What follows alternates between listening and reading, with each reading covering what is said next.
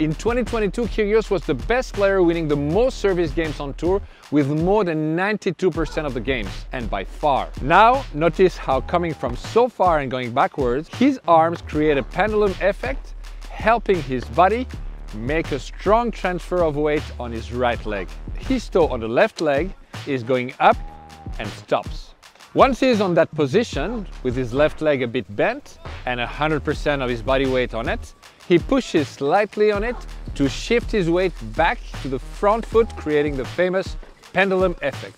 When he is in that position, he starts his ball toss, but he doesn't throw the ball until he is back, moving his body weight forward to avoid his toss going backward.